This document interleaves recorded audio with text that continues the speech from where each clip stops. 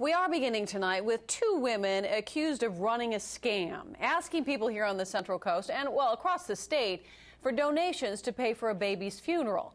The problem is, baby never existed.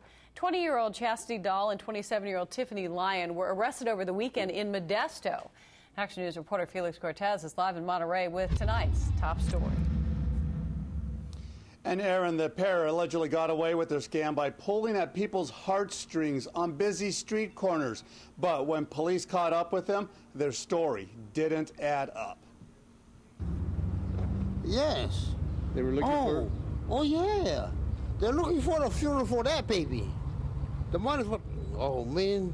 Yeah, that's pretty amazing. That's pretty sick. It was at the corner of Canyon Del Rey and Fremont that Cindy Burden gave two women 10 bucks to help pay for a dead child's funeral. At least that's what these women said they needed the money for, even waved a bright yellow sign with the baby's picture.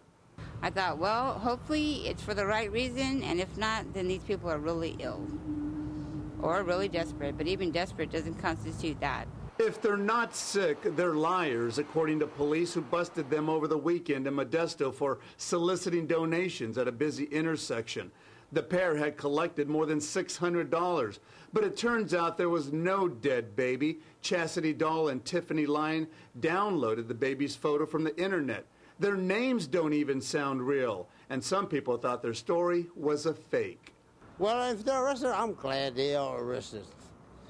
Because I, I had a feeling they were lying. Because when, when the other say something, the other one look like they're crying, she's crying like like that, but there's nothing shows that they're really crying. And the exact sign, everything that you showed. Same person, same yeah, sign. Same sign. Same child on the sign. Action News started looking into the pair after several viewers reported seeing them in Seaside and Salinas and wondered whether it was for real. Seaside Police Chief Vicki Myers said the same women were working the Seaside area 10 days ago. Um, it, certainly, if people see something like that, the right thing to do is to call the police and then to let us investigate, and we should do our job. And this morning, Seaside Police Chief Vicki Myers confirmed that one of her officers did indeed make contact with that pair in Seaside back on June 10th. She's investigating as to why the pair weren't arrested back then. In the meantime, Modesto police have charged the couple with taking money under false pretenses. Aaron? All right, Felix, thank you. Uh, so, one more time, we want to show you a picture of the two women who are accused. If you gave them money or you know someone who did, you should contact your local police department.